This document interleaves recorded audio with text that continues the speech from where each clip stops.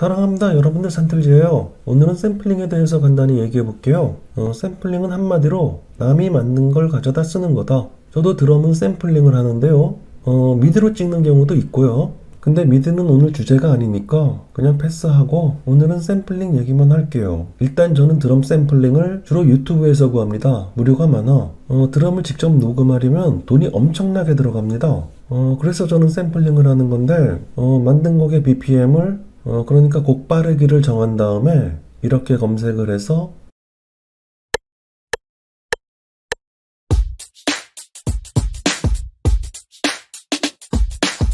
다운을 받고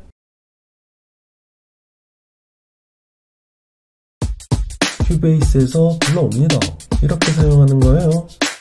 그리고 샘플 CD라는 게 있었는데 이건 일반 CD에 비해서 10배 정도 비쌌어요. 어, 비싼 이유는 거기에 있는 음원을 사용하는 저작권 사용료라고 보시면 돼요. 어, 요즘엔 샘플링 사이트가 많은데요. 어, 한 군데 들어가 볼게요.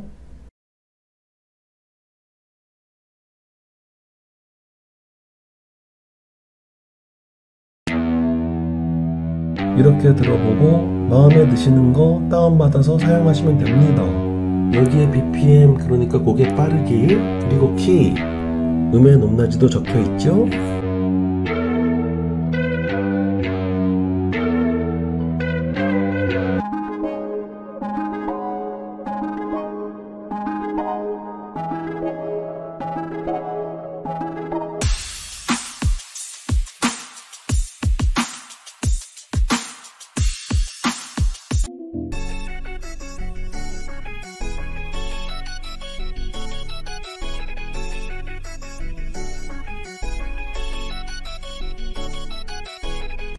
여기는 공짜 사이트입니다. 어, 그리고 BPM과 키는 Cubase에서 자유롭게 조절이 가능해요. 그리고 샘플링은 합법적인 겁니다.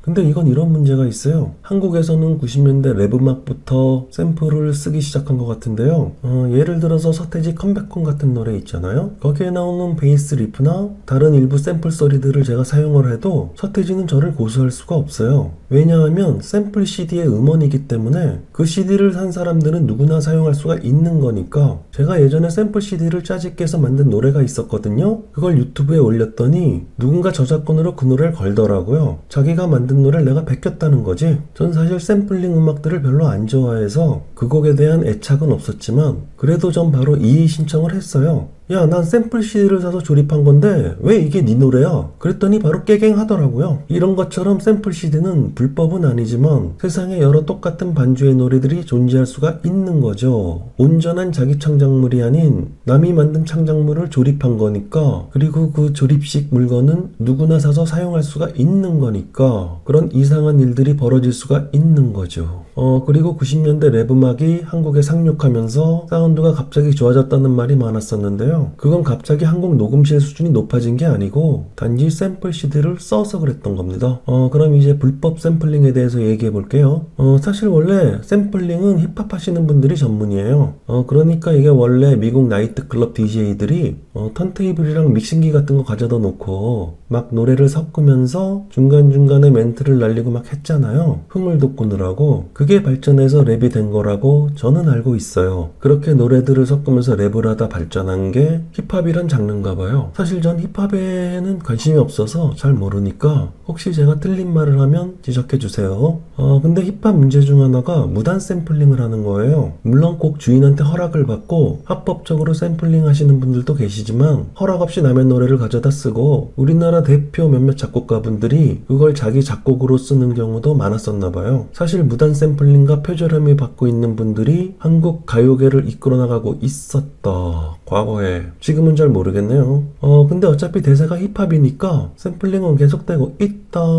그렇게 보시면 됩니다. 어, 샘플링에 대해서 조금 이해가 되셨나요? 표절과 무단 샘플링은 거의 같은 행위이다. 무단 샘플링과 합법적 샘플링은 거의 같은 기술이다. 요즘 표절 유튜버 채널이 많이 생기던데 힙합에서 찾아보면 똑같은 반주만 수천 곡 나올 수도 있어요. 그러니까 클리셰, 뻔한 거죠? 클리셰한 거랑 샘플링한 노래까지 표절로 찾으면 한도 끝도 없을 거예요. 차라리 독특한 노래를 찾아서 즐겨 봅시다.